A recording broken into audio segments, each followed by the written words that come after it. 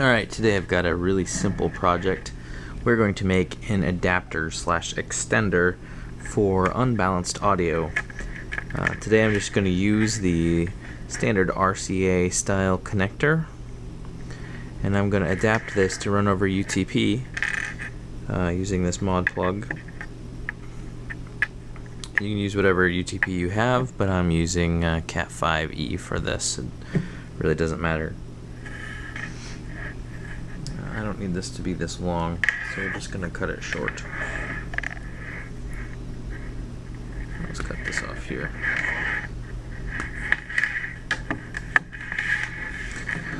Alright, now most of these wires are the same kind of construction. They have some kind of shield drain wire around the outside and then a center conductor the audio actually travels on.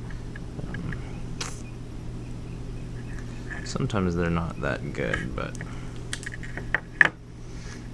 yeah, this doesn't have a solid shield, it just has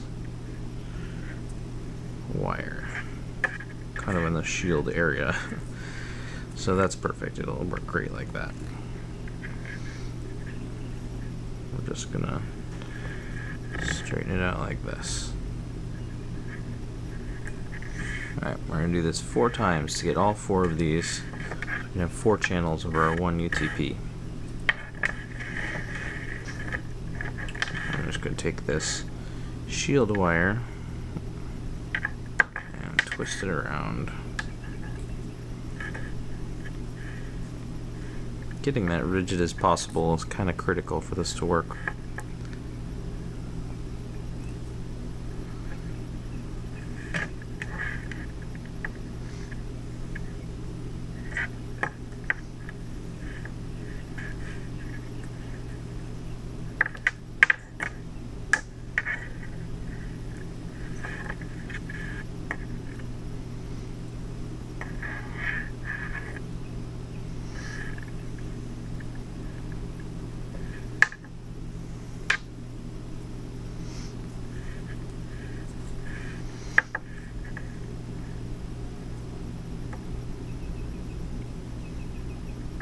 Alright. I've had really good experience getting these to fit in here without any other kind of modifications, but I'm just going to test it to see how our wire size will, if it'll fit in that hole or not. And it does, it fits perfectly. So that's really good. Alright, so there aren't too many things that are super critical about doing this to getting it to work right, but one thing is very important. UTP pinouts uh, have the pairs in a specific order, and in order for this to work well, they have to remain in that order. You can't bypass that. So this would be in a normal application. This would be the orange pair. So I'm going to use the and whites for the negative side or the shield, and then the solids for the center conductor. So I'm going to put this in the orange and orange and white pair. So that first set right there. See how, because I made that rigid, it slides right in. So I've got my orange, and orange and white right there.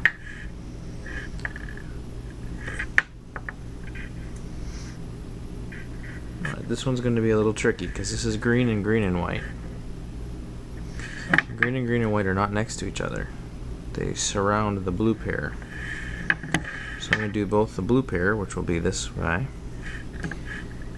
and the green pair at the same time, just because it's a little easier. Okay, so this is my blue pair, blue and blue and white, and it goes this way. Green and green and white, and it goes this way.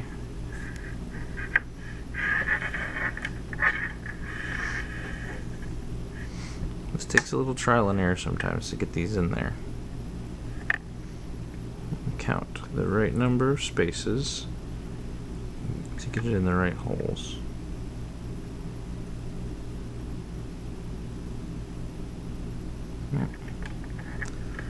That's giving me a little trouble. Come on. Alright. I don't know if you can see it on camera very well. I'll hold it as close as I can. I skipped one space, which will be for green and white, which is the shield of this black. Uh, I'm going to strip this one back a little farther actually. Give myself a little more room to navigate that.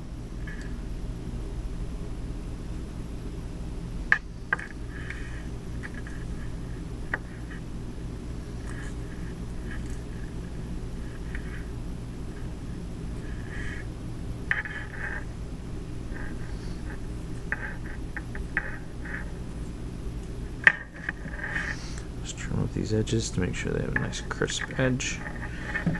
Alright, I'm going to separate these quite far. Let's see if I can straddle this.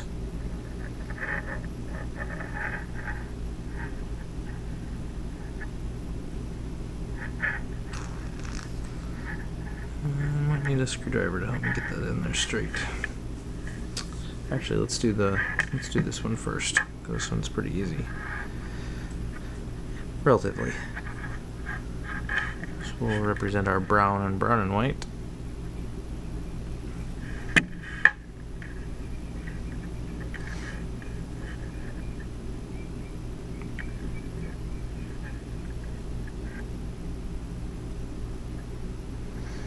Brown and brown and white, right there.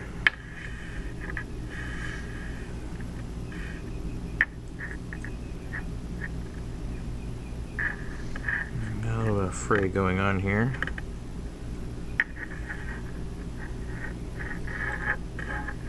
Alright, we're just going to feed this in again. We're straddling. This is the hardest one.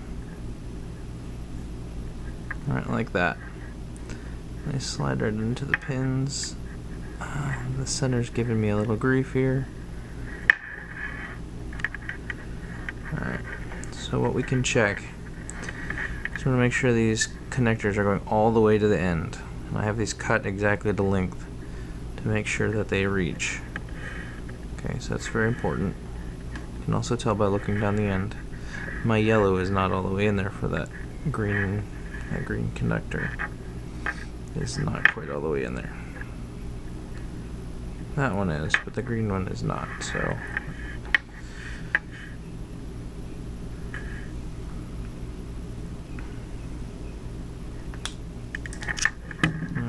cut a little too much off when I did this. Overzealous. do want to trim this one a little bit so that the end is a little more crisp. Alright. Gotta quit moving these around. Stick them all back in.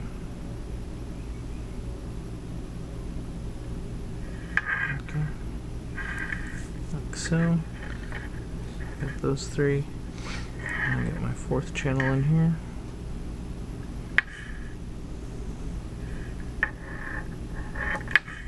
Aw, oh, man. I just noticed what I did. I forgot to put this thing on. Alright, well, I'll start over. These are pretty easy. I'll do these all over.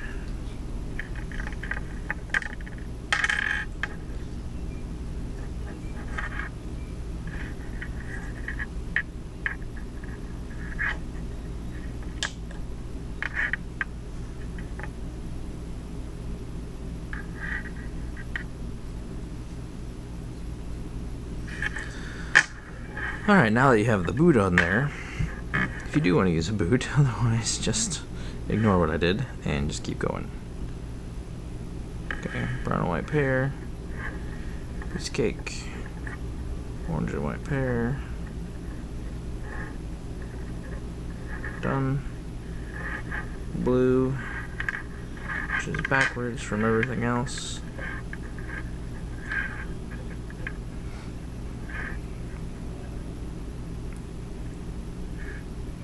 Run right up the center two pins, like so.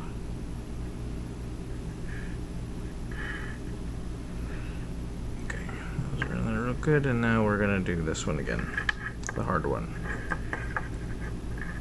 green and white green.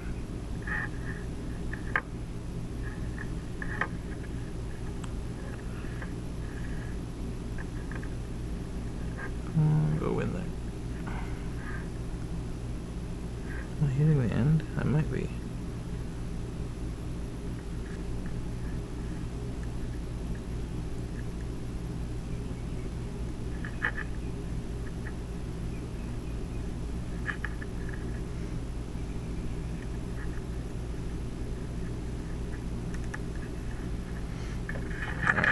in.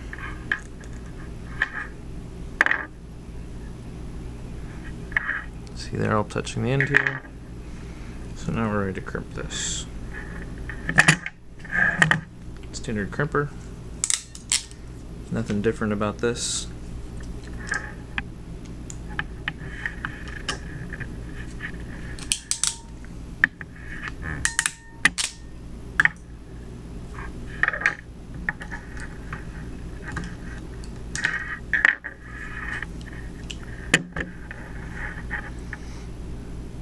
Alright, they're all in there in the correct order.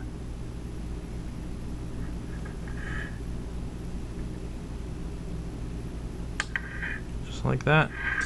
One thing to note, these are designed for solid or stranded wire. It helps to have the stranded wire kind, though it's not essential. I've done it with both types. Um, the connector fits really well, it holds on. Um, it's a really solid way to do this. So now I'm going to have four audio channels I can run over UTP. Um, let me pull my boot up here, it'll look nicer. One thing to note is that unbalanced audio, which this is, has a limitation of about 12 feet. You can probably run it farther, but if you try to run it farther, you may experience some interference, um, some noise between the channels. I don't recommend running this too far. You can run balanced audio over UTP for thousands of feet, no problem, but unbalanced, should probably keep it as short as possible. Alright, so there's the finished product. I have four channels of audio running over this, and if you want to split it back out on the other side, you just make another one of these. You can also put different ends on these. These happen to have four RCAs because that's what I need for this application, but you can use uh, minis or whatever type of audio connector you want as long as you follow the pinout. You can split this back out and this becomes an adapter then. Alright, thanks for watching and uh, go enjoy running audio over UTP.